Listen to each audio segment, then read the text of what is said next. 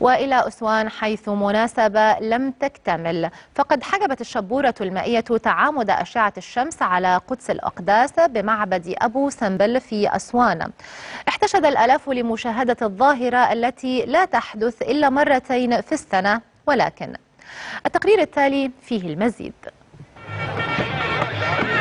مثل كل عام الجميع اصطف منذ الرابعة صباحا لمشاهدة ظاهرة تعامد الشمس على وجه تمثال الملك رمسيس الثاني بمعبد أبو سمبل في أسوان.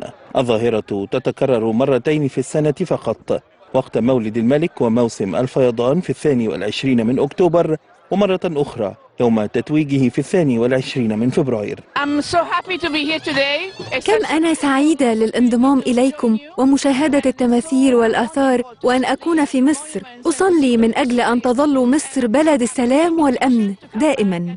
ولكن بسبب الشبورة الكثيفة الشمس التي انتظرها الجميع خذلت أربعة آلاف شخص مصريين وأجانب. وظاهرة تعامد الشمس السنة دي في ما كانش لنا نصيب وكل ال- ال- الأعداد الغفيرة دي تشوفها لكن الحمد لله كان عندنا حضور قوي جدا وأغلبهم المصريين 3000 وده يدل على إن في زيادة للوعي الثقافي عند المصريين إن هم يجوا ويشوفوا ظاهرة تعامد الشمس وزيارة المعابد. رغم عدم اكتمال المناسبة فإنها كانت فرصة للاحتفال.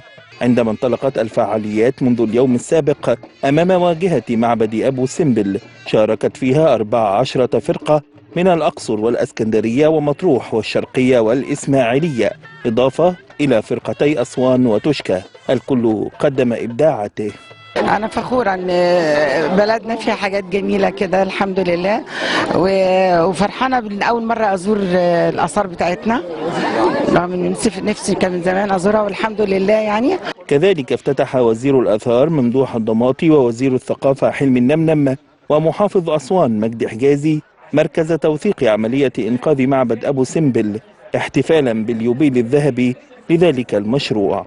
الغيوم أخفت الشمس وراءها فلم تتعامد على وجه رمسيس الثاني ولكن تظل أثار حضارة ضربت بجذورها في التاريخ مشرقة بأصالتها وعظمتها.